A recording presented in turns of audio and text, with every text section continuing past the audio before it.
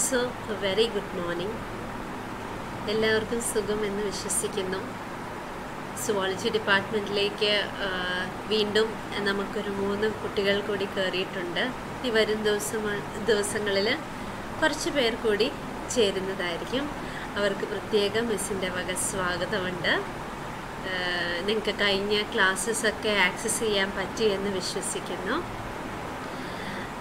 Hope you had a good weekend so let's again continue with ആ studies ഇന്ന് നമ്മൾ നോക്കാൻ പോകുന്നത് പ്രോട്ടസ്റ്റിന്റെ ക്ലാസിഫിക്കേഷനാണ് പ്രോട്ടസ്റ്റുകൾ എന്താണ്? അതിന്റെ ജനറൽ ട്രേറ്റ്സ് എന്താണെന്നൊക്കെ നമ്മൾ കഴിഞ്ഞ ക്ലാസ്സിൽ മനസ്സിലാക്കിയതാണ്. Right now we are moving on to the classification കുറേ ഫൈലംസ് നമുക്ക് പഠിക്കാനുണ്ട്. ഒത്തിരി ഫൈലം കിങ്ഡം പ്രോട്ടിസ്റ്റയിലുണ്ട് അതിൽ ഇന്ന് will be looking into four phyla okay the first four phylums ആയിരിക്കും നമ്മൾ നോക്കാൻ പോകുന്നത്. ക്ലാസിഫിക്കേഷൻ എന്ന് പറഞ്ഞാൽ എന്താ സംഭവം? കുറേ ഓർഗാനിസത്തിനെ അല്ലേ? കുറേ സ്പീഷീസിനെ നമ്മൾ ഒരുമിച്ച് കൂട്ടി ഒരു ഗ്രൂപ്പാക്കി വെക്കുകയാണ്. എന്തിന്റെ ബേസിലായിരിക്കും അങ്ങനെ ഗ്രൂപ്പാക്കുന്നത് ബേസ്ഡ് ഓൺ ഇറ്റ്സ് ഫീച്ചേഴ്സ് അല്ലേ? അതിന്റെ മോർഫോളജിക്കൽ ഫീച്ചേഴ്സ് നാറ്റമിക്കൽ ഫീച്ചേഴ്സ് ഒക്കെ വെച്ചിട്ടാണ് നമ്മളതിനെ ക്ലാസിഫൈ ചെയ്യുന്നത്. സിമിലാരിറ്റീസ് വെച്ചിട്ടാണ് ഒരു ഗ്രൂപ്പിൽ പെടുത്തുന്നത്. ഡിസിമിലാരിറ്റീസ് വെച്ചിട്ടാണ് പല ഗ്രൂപ്പിൽ പെടുത്തുന്നത്. ആസ് വി സേ ഇതെല്ലാം റെഡ് കളറാണ് ഇതെല്ലാം ബ്ലൂ കളറാണ് എന്ന് ഇതിനകത്ത് പല കളേഴ്സ് കാണുന്നുണ്ട് അല്ലേ? How do we say that is ബ്ലൂവിന്റെ ഷെയ്ഡാണ് ഗ്രീനിന്റെ ഷെയ്ഡാണ് പിങ്കിന്റെ ഷെയ്ഡാണ് അതിന്റെ റിസെംബ്ലൻസ് വെച്ചിട്ടാണ് അല്ലേ? എത്രത്തോളം റെഡിൽ നിന്ന് ഡിഫറെന്റ് ആണോ അതിനെ വേറെ ഗ്രൂപ്പിലേക്ക് നമ്മൾ കയറ്റുന്നു. അല്ലെങ്കിൽ എത്രത്തോളം ബ്ലൂവിൽ നിന്ന് ഡിഫറെന്റ് ആണോ അത് ബ്ലൂ അല്ലാത്ത വേറൊരു ഗ്രൂപ്പിൽ നമ്മൾ കേൾക്കും. അങ്ങനെയാണ് ഓരോ ഫൈലം അല്ലെങ്കിൽ ഓരോ ജീനസ് അല്ലെങ്കിൽ ഓരോ ഓർഡർ ഒക്കെ ഉണ്ടായി വരുന്നത്. Hope you all are familiar with all those topics now let's move on നമ്മളുടെ ഫസ്റ്റ് ഫൈലം നമുക്ക് പഠിക്കാനുള്ളത് റൈസോ പോഡയാണ് നമ്മുടെ ഫസ്റ്റ് ഫൈലം ഈ പടം നിങ്ങൾക്ക് കണ്ട് പരിചയമുള്ളതായിരിക്കും. മേ ബി ഈ പടം ആയിരിക്കില്ല കണ്ടേക്കുന്നത്. ഈ പുള്ളിക്കാരന് പല ഷേപ്പിലും ഇരിക്കാൻ പറ്റുന്ന ഒരു പുള്ളിക്കാരനാണ്. ഓക്കെ അത് ഇന്നൊരു കൃത്യമായ ഷേപ്പിൽ ഒരു ട്രയാങ്കിൾ ഷേപ്പ് അല്ലെങ്കിൽ റെക്റ്റാങ്കിൾ ഷേപ്പ് അല്ലെങ്കിൽ വട്ടം അല്ലെങ്കിൽ ഓവൽ എന്നും പറഞ്ഞൊരു കൃത്യമായ ഷേപ്പിൽ ഇരിക്കുന്ന കക്ഷിയല്ല ആരാന്ന് പിടികിട്ടിയോ? ആ മിസ് ഇവിടെ എഴുതി വെച്ചിട്ടുണ്ട് ആരാണെന്ന്. നമ്മുടെ അമീബയാണ്. അപ്പം അമീബ വരുന്ന ഫൈലമാണ് റൈസോ റൈസോപോഡ ഇതിന്റെ ക്ലാസിഫിക്കേഷൻ സമയത്ത് നമ്മൾ ജനറൽ ഫീച്ചേഴ്സൊക്കെ പഠിച്ചപ്പോൾ വി ഹാഡ് സെഡ് ദാറ്റ് ഈ ക്ലാസിഫിക്കേഷന്റെ വൺ മെയിൻ ട്രേറ്റ് എന്ന് പറയുന്നത് ഇവരുടെ ലോക്കോമോട്ടറി സ്ട്രക്ചേഴ്സ് എന്ത് ലോക്കോമോട്ടറി സ്ട്രക്ചറാണോ അതിനുള്ളത്?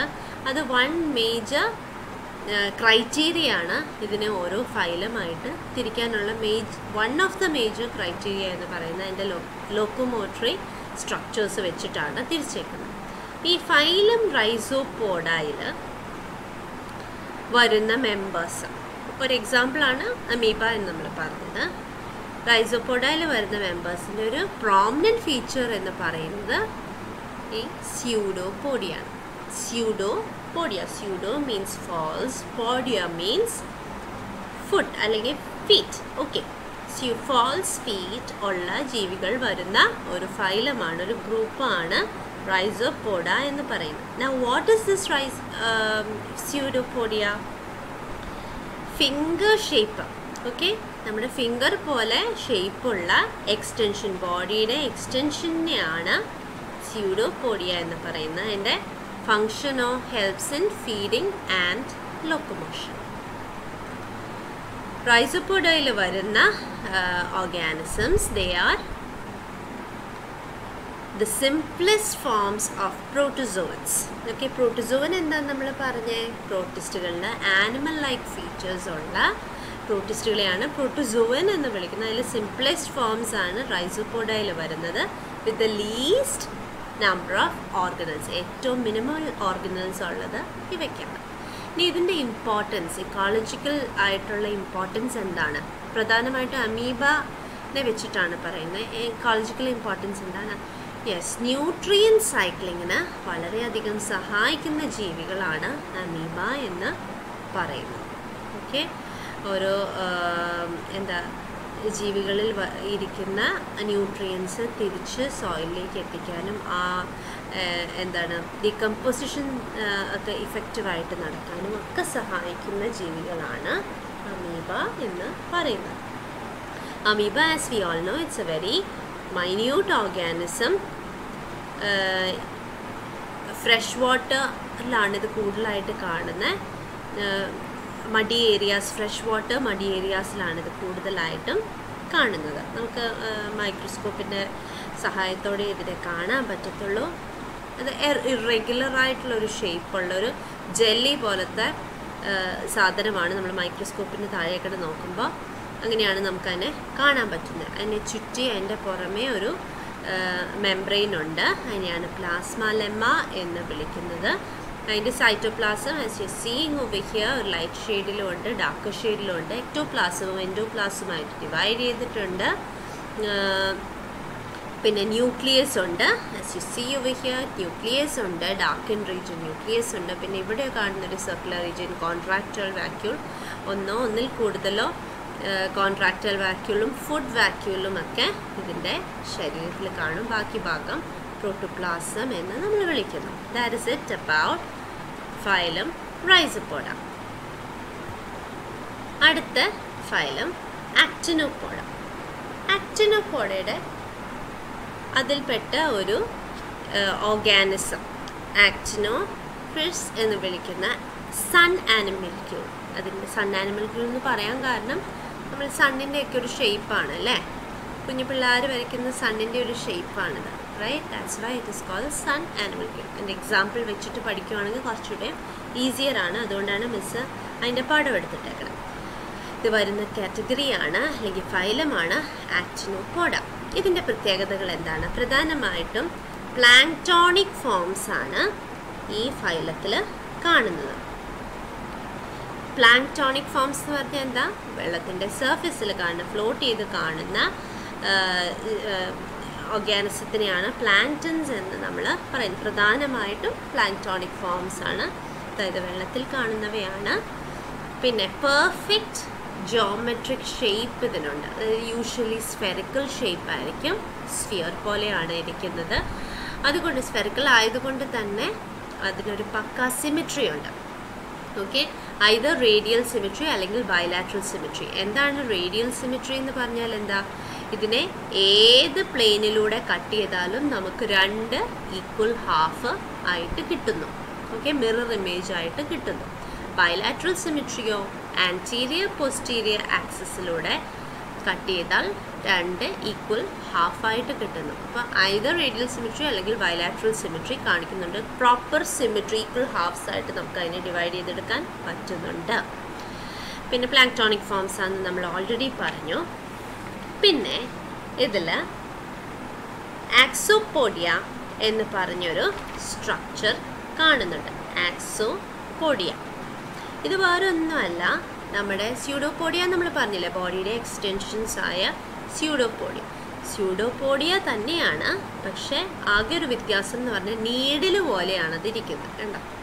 കുന്തം കുന്തം പോലെ അല്ലെങ്കിൽ ഒരു മുട്ടുസൂചി പോലെ നീണ്ട മെലിഞ്ഞ നേർന്ന സ്യൂഡോപോഡിയയ്ക്കാണ് ആക്സോപോഡിയ എന്ന് പറയുന്നത്. അത് അഗൈൻ ലോക്കോമോഷനും ഫീഡിങ്ങിനും ഈ പറഞ്ഞ പോലെ ഫ്ലോട്ട് ചെയ്ത് കിടക്കണം. പ്ലാങ്ക്ടൺ ആണെന്ന് പറഞ്ഞില്ലേ ഇപ്പോൾ വെള്ളത്തിന്റെ സർഫസിൽ ഫ്ലോട്ട് ചെയ്ത് കിടക്കണം. അപ്പോൾ ഈ ആക്ടിനോപോഡയിൽ വരുന്ന ഓർഗാനിസംസിന്റെ ഒരു പ്ലാങ്ക്ടോണിക് അഡാപ്റ്റേഷൻ ആയിട്ട് നമുക്ക് വേണമെങ്കിൽ പ്രസൻസ് ഓഫ് ആക്സോപോഡിയനെ എടുത്ത് പറയാവുന്നതാണ്. ഇതിന്റെ ഇമ്പോർട്ടൻസ് എന്ന് പറഞ്ഞാൽ ഇതൊരു ഇമ്പോർട്ടന്റ് ഫോസിൽ റെക്കോർഡാണ് ഫോസിലൈസ്ഡ് ഫോമാണ് പിന്നെ ആക്ടിനോപോഡയിൽ വരുന്ന ചില ഓർഗാനിസത്തിന് സ്കെലറ്റിലുണ്ട് അതിന്റെ പുറമേ ഉള്ള സ്കെലിറ്റൽ സ്ട്രക്ചേഴ്സ് കാൽക്കേരിയസ് ആയിട്ടുള്ള സ്കെലിറ്റൽ സ്ട്രക്ചേഴ്സിന്റെ കാൽക്കേരിയസോ അല്ലെങ്കിൽ വേറെ ഏതെങ്കിലും മെറ്റീരിയൽ വെച്ചുള്ള സ്കെലറ്റൽ കോമ്പണൻസ് ഉള്ളതുകൊണ്ട് സപ്പോർട്ട് സ്ട്രക്ചേഴ്സ് ഉള്ളതുകൊണ്ട് അത് പെട്ടെന്ന് ഡീഗ്രേഡഡ് ആയി പോയിട്ടില്ല. ഫോസിലിന്റെ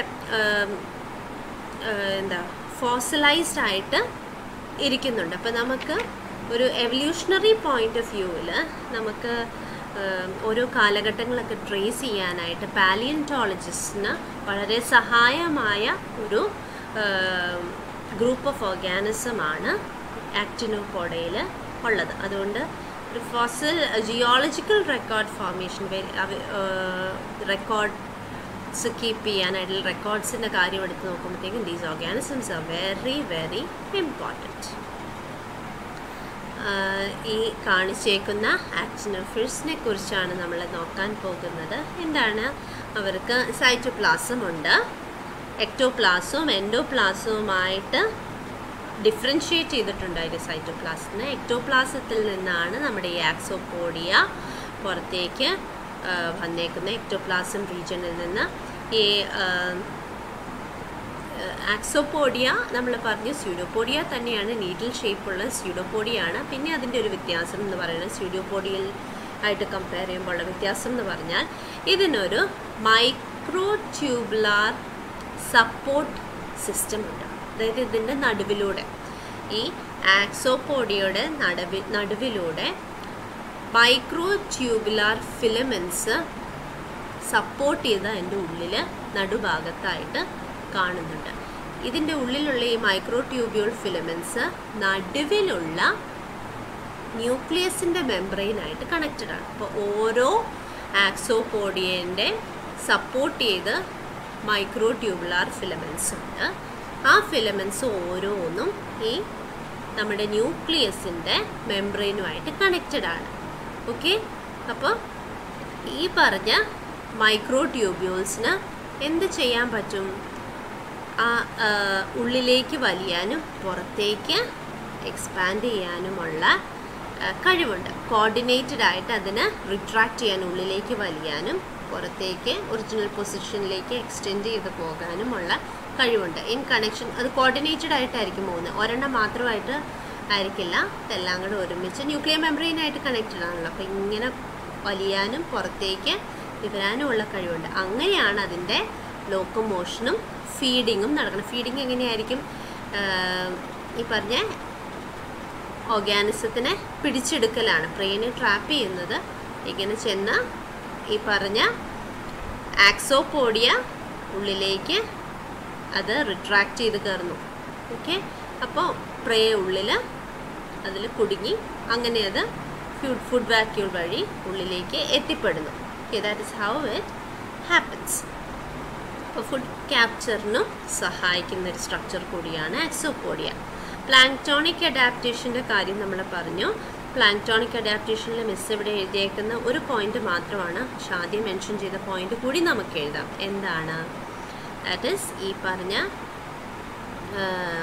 ആക്സോപ്ലാസം ബോയൻസിക്കും സഹായിക്കുന്നുണ്ട്. അഥവാ പ്ലാങ്ക്ടൺ ആയിട്ട് ജീവിക്കാൻ ആ ഒരു ജീവിതശൈലി ഫെസിലിറ്റേറ്റ് ചെയ്യുന്ന ഒരു സ്ട്രക്ചറാണ് ആക്സോപോഡിയ എന്ന് പറയുന്നത്. അത് ഇവിടെ മെൻഷൻ ചെയ്യാവുന്നതാണ്.